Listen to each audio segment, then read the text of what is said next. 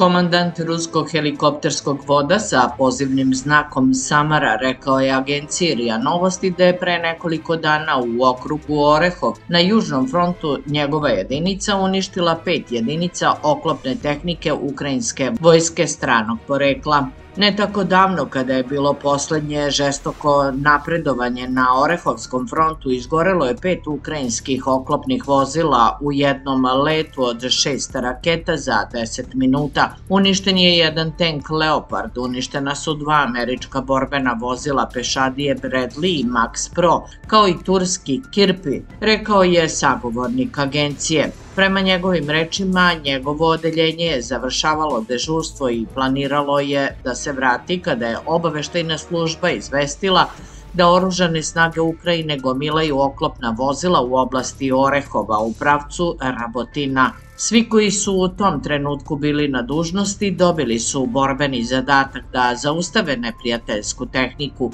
Postigli smo borbeni status u najkraćem mogućem roku. Poleteli helikopterima po zadatoj trasi, zauzeli sve naše punktove prema koordinatama zone čekanja i dežurstva i sačekali dalja uputstva. Čim je stiglo naređenje iz komandnog centra i kontrolora vazduha da se neprijateljska tehnika kreće na jug, dobili smo koordinate kretanja kolona. Svako je dobio u skladu sa svojim ciljevima u zoni odgovornosti. Nakon dobijanja koordinata prešli smo u borbeni režim i počelo je postepeno uništavanje neprijatelja, saopštio je Samara. On je istakao da su u njegovoj udarnoj grupi koja je uništavala oklopna vozila neprijatelja bila tri helikoptera K-52, osnovni udarni centar armije avijacije zahvaljujući optici i vođenim raketama vazduh-zemlja a pokrivali su ih Mi-28 i spasilački helikopter Mi-8. Ne mogu da kažem koliko je helikoptera u tom trenutku bilo angažovano na uništavanju oklopnih vozila neprijatelja, ali prema izveštaju kontrolora vazduhoplovstva posle interakcije sa motorizovanim pešadijskim jedinicama uništeno je nekoliko desetina tenkova borbenih i oklopnih vozila neprijatelja,